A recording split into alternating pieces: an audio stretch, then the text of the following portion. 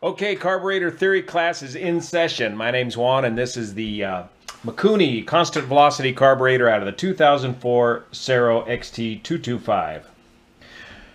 We're going to cover the theory and operation of this carburetor using some neat graphics we found on the on the internet and go over all the components of this partially stripped down carburetor and explain what their purpose is and help you tune your carburetor. So this is looking at the carburetor from the left side of the bike. Uh, to, on the right side of the carburetor is the air inlet, the air box, and on the left side, the carburetor goes into the engine.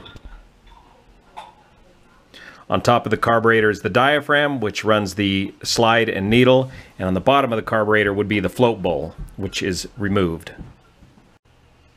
I want to take this opportunity to thank my wife Jenny for allowing me to bring this stinky old carburetor in today to work on it on this rainy day. How's that going up there? You got that duct figured out yet? That filter? Baby wipes are good for all kinds of solutions. okay. With the float bowl off and the carburetor upside down, we can see the basic inner workings.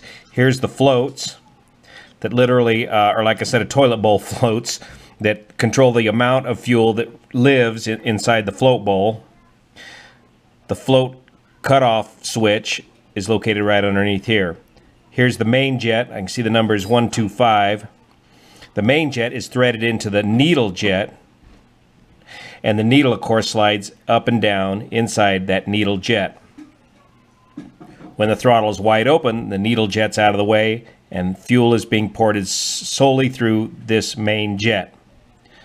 Forward of the main jet is the pilot jet, which controls the amount of fuel that is used to idle the bike.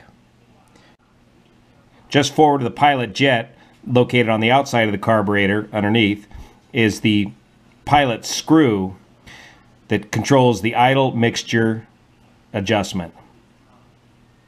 And here's your overall idle adjustment, the big thumb screw located on the outside of the carburetor, which adjust the idle on the butterfly valve, or adjust the butterfly valve to adjust the idle on the bike.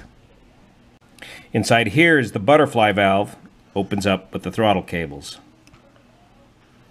You can just see the tip of the uh, pilot screw. I've threaded it all the way in and counted the number of turns that the pilot screw is set at on this stock setting. I'm going to go ahead and overhaul this carburetor and replace all those components, but you want to note the settings of your carburetor before you tear it all apart. Write that down for future reference. On the right side of the carburetor is the air cutoff valve, diaphragm, and valve. Valve goes in that hole here, and the diaphragm lives here. And looking straight down the top, this is where the diaphragm lives, and the diaphragm, of course, is attached to the slide and the needle. Now let's look at some graphics and see how this carburetor actually works from the inside.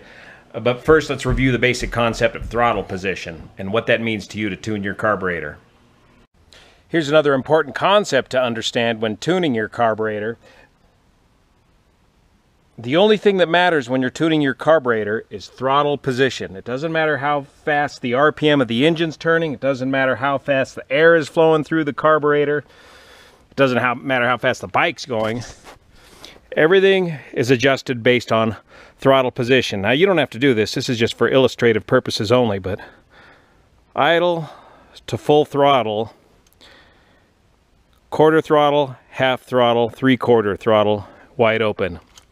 Those are the different steps that the carburetor's got to go through, that the different jets and circuits work with while tuning your carburetor. And let's go inside and we'll understand more about that once we see it illustrated. Here's the chart that explains the relationship between throttle position and the inner workings of the carburetor. On the lower left corner of the chart is uh, closed throttle position. Far right side of the chart is wide open throttle and all throttle positions in between. At the bottom of the chart we see the uh, operation of the pilot, air screw, and the jet. Starting at uh, closed idle, we're running fuel through the idle circuit throughout the entire throttle range of the carburetor. Next up is the throttle valve cutaway, which we don't really have on this carburetor. That has to do with the shape of the slide. In some carburetors, you have an adjustable slide shape that will control the enrichment of the fuel at those lower throttle settings. Above that is the needle jet adjustment, which controls your mid-range fuel flow. And finally, the main jet, which controls your fuel flow from about half throttle to wide open. Now let's check out this animation and see how it all works with the orientation of the airbox being on the right and the engine to our left. And here's the location of all the individual components.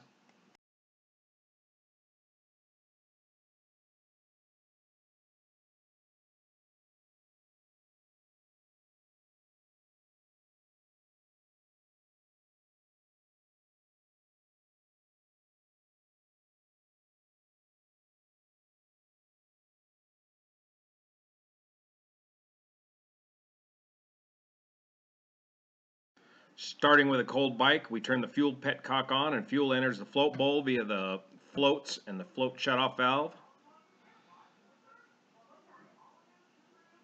Then we open the choke circuit, pulling the choke, allowing extra fuel to be used for the start. And the Yamaha is particularly cold-blooded. So as we start the bike, fuel is pulled in from both the choke circuit and the idle circuit, giving us enough fuel to get the bike started and warmed up. With the bike warmed up, we can close the choke and run off the idle circuit.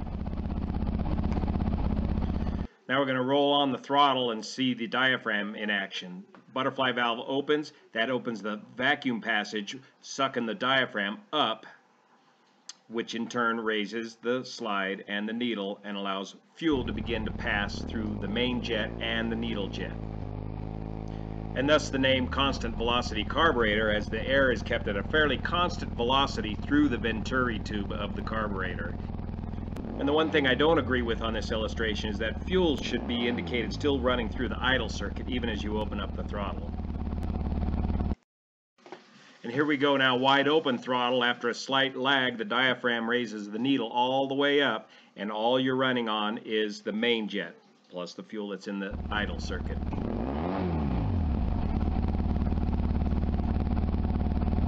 When it comes time to determine what uh, jets you want to use in your carburetor, if you want to change your jets at all, a good logical sequence of events would be to start with the idle circuit first, get your idle worked out, and then go right to wide open throttle, get your main jet determined, and then start working on the intermediate throttle settings with your needle, jet, and needle. Now, a word of caution about jets. Jets sizes are just arbitrary sizes based upon manufacturer. So if you're working with a Mikuni carburetor, make sure you check with Mikuni jets and jet sizes. Don't mix them up with Keihin or some other kind of carburetor.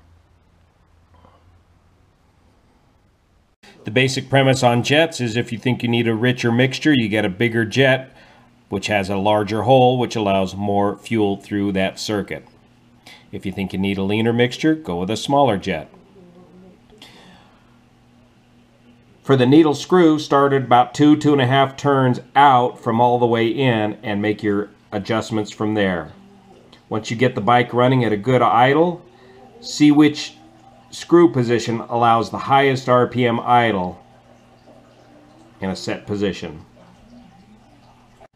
I would leave the float level adjustment alone unless you think it's grossly off, but that level can be adjusted by bending this little tang right here. So that's it for basic carburetor theory class. Uh, stay tuned for the complete teardown of this carburetor and rebuilding of it for more details on how to actually do that and how to tune your carburetor. Thanks for watching. Let me know uh, some of your constructive criticisms and uh, helpful hints and tips that you've had out there in the field.